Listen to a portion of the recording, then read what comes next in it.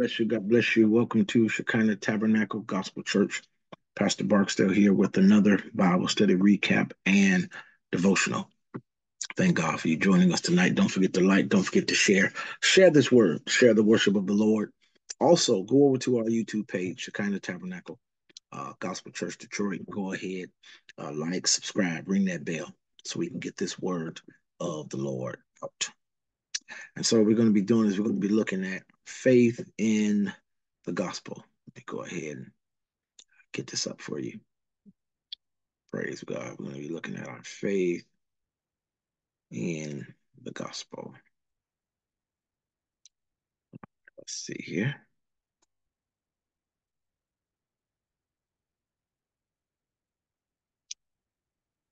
Let's see here.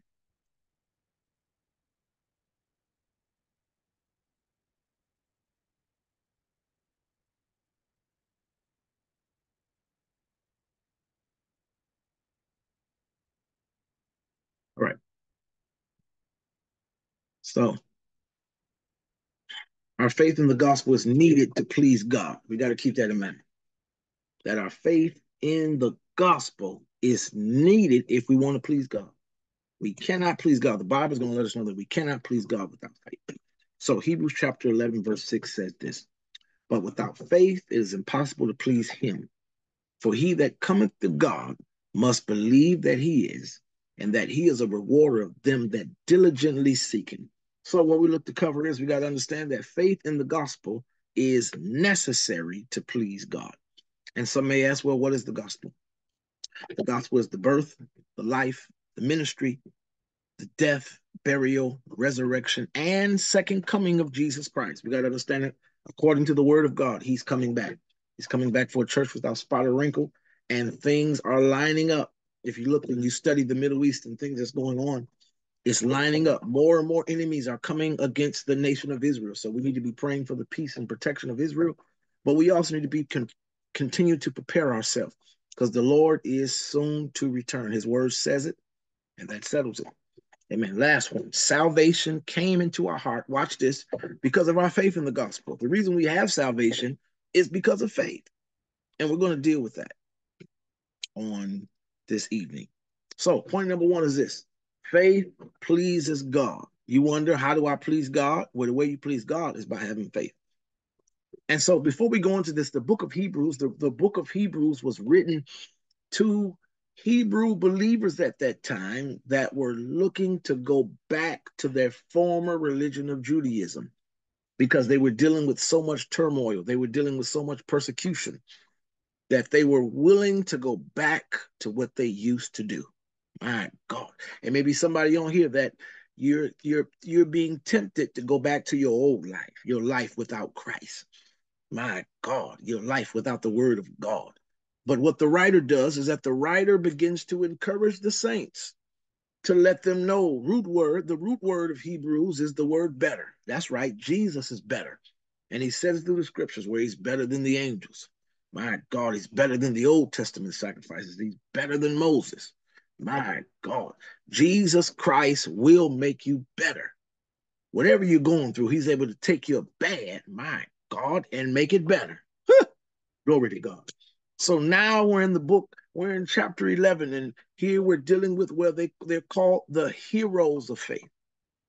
And so here, but actually, even though I'm starting in verse six, this context actually starts back in verse four, where he deals with Abel, saying, By faith, Abel offered up a sacrifice. So here he's dealing with how through it's, it's through faith, through faith in God, not faith in faith, but faith in God. And so when we get to verse six, he says, But without faith, showing that you need faith. Watch this. But without faith, it is impossible to please him or please God. Watch this. For he that cometh to God must believe that he is. You got to believe God is who he says he is. You got to believe according to the word of God that he is who he said he is. My God, he's your healer, he's your savior. My God, watch this. That he is a rewarder, my God, of them. He's a rewarder. He rewards those, watch this, that diligently or consistently seek him. You need to set yourself a schedule. Take time aside to seek God's face. God said he gonna bless you just for looking for him. He gonna bless you just for running after him.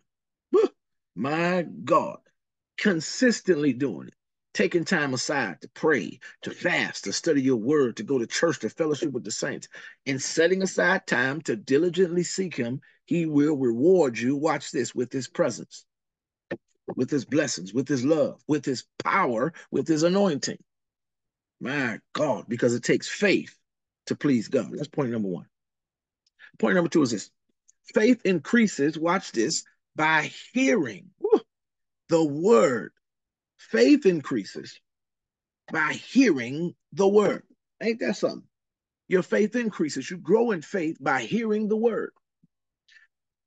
Romans chapter 10, verse 17 says this So then faith cometh by hearing, and hearing by the word of God. Let's read it in the Amplified Version. Amplified Version says, So faith comes from hearing, my God, what is told, woo, and what is heard. What is told, the gospel of Jesus Christ, the gospel message coming from the word of God, comes by the preaching, see, the preaching of the message concerning Christ, the preaching of the cross, the preaching of the gospel. Faith comes, your faith increases. Watch this. As you hear the preach word from your pastor, my God, uh-huh. Or as you hear the you you hear the preach word from your pastor, or as well as you reading it and you're hearing it. Faith comes from you hearing the word of God, reading the word of God, studying the word of God, but also through the preaching of the gospel from your local pastor. That's why it's also that's why you got to get connected and hooked up to a church. My God, where the pastor is preaching the word of God. Glory to God. Hallelujah. And so when you do that, your faith increases from hearing the word. It's the word that brings about an increase. All right, that's point number two. Point number three is this we are saved by faith in God. That's point number three. We're saved by faith in God, of course, through his son, Jesus Christ. Look at Galatians chapter 5, verse 6. We're saved because of our faith in God. For in Jesus Christ neither circumcision availeth anything nor uncircumcision, but faith which worketh by love. It doesn't matter. You can't look at your nationality just because back then circumcision represented the Hebrew race, the Hebrew Jewish race. Uncircumcision represented the Gentile race. We are not saved because of our race. Your race or your culture can't get you saved. So we got to be careful about that. Even myself, I love my culture. I'm proud, my God, to be an African American young man, black man. I embrace and I love my blackness, but I can't put my blackness or my race, watch this now, before my God. Hallelujah. Yes, I am an African American man, but I'm first a Christian African American man. Hallelujah. And I'm grateful for them. Hallelujah. Because my faith in God comes first. Seek ye first the kingdom of God. My faith in God comes first. Hallelujah. Watch the last part. Nor uncircumcision, but faith, you hear that? Which worketh by love. It works by love. Your faith in God is working through you by God's love. God's love flowing through you by his spirit. You got it. The only way you get it is by having faith in God. But it works through love. People should see your love as you're walking, as you're ministering. You should be able to walk and talk in love, God's love flowing through you. That's point number two. We're saved by faith in God, not because of our culture, not because of our race. We're saved because of faith in Jesus Christ alone. Last point, point number four is this faith produces fruit. My God, faith produces fruit, or in other words, works. The end result of your faith should be that you're able to produce works, or fruit. The end result of a seed being planted in the ground is that now you have a fruit tree. The proof of the seed is in the fruit. Something wrong, I call myself an orange tree, but I'm not producing oranges. I call myself an apple tree and I'm not producing apples. The proof should be in the pudding. Because I'm saved, the proof should be in my behavior and in my lifestyle. James 2 and 17 says, Even so, if it have not even so faith, if it have not works, is dead, being alone. Amplified says so too, faith. If it does not have works to back it up, my God, your behavior should back up your faith. It shouldn't be enough that you talk the talk, but you don't live it. No, your life should back up your faith. My God, your works, your proof should back up your faith. Watch this. It is by itself dead. Faith by itself, no behavior, no proof, It's dead. It's inoperative. It's ineffective. It's not profiting anybody. But they got to go hand in hand. Faith and works go hand in hand. There should be proof that go along with your faith. Hallelujah. Glory to God. That's my last point. Because that's how it works. It takes faith in God to please him. And my conclusion. Let's continue in God's righteousness through the gospel of Jesus Christ. Let's continue in God's righteousness through the gospel of Jesus Christ and the word of God. Watch this. As a re- as a result, our faith in Jesus will continue to grow. My God, it was a song they used to sing when we were little. If you read your Bible and pray every day, you will grow, grow, grow. My God. But then they also said if you don't read your Bible and if you don't pray every day, you will shrink, shrink, shrink. So what happens? As your faith increase, as your faith grows, you grow in God. So let's continue to grow in God. Let's continue to grow in the faith of Jesus Christ. Continue to trust God. Continue to believe God. That is our theme for 2024 is the word continue. So we thank God for this word. I will say that if you're not saved, if you want to give your life to Christ or you want to rededicate your life back to Christ, pray this simple prayer with me. You're just a prayer away. Pray this prayer with me, Lord Jesus.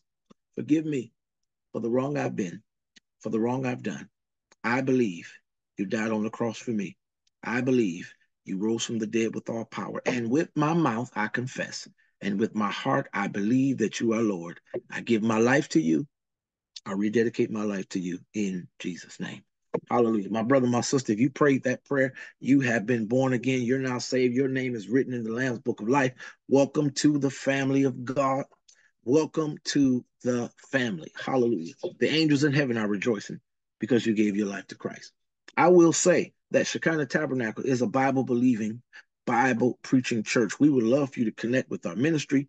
All you got to do is text these letters, STGC, to the number 33777. Text the letters STGC to the numbers 33777. Follow the prompts that will get you connected. If you also wanted to be a blessing to this ministry, we would love for you to consider to be a blessing to this ministry. We have four ways you can give now. You can go ahead and give by Cash App, which is dollar sign Shekinah Tab. If you wanted to give by Givelify, that will be Shekinah Tabernacle Gospel Church. If you wanted to give by PayPal, that will be Shekinah Tabernacle Gospel Church. If you wanted to give by Zelle, that would be the word Shekinah Tab Detroit at gmail.com. And we'll put all that information in the combat in the comment box for you. Again, this is Pastor Barksdale just telling you again when it comes to Shekinah Tabernacle Gospel Church to be encouraged and God bless.